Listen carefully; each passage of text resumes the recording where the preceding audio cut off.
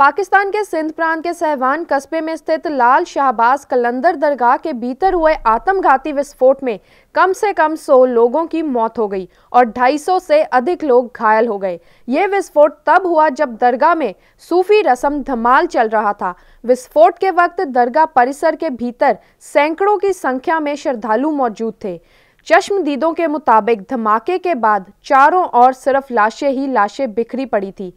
आतंकी संगठन आईएसआईएस ने लाल शाहबाज कलंदर दरगाह पर हुए धमाके की ज़िम्मेदारी ली है। पुलिस के मुताबिक फिदाइन हमलावर दरगाह में घुसा, फिर उसने कुछ हैंड ग्रेनेड फेंके, लेकिन वो फटे नहीं तो इसके बाद उसने खुद को उड़ा लिया।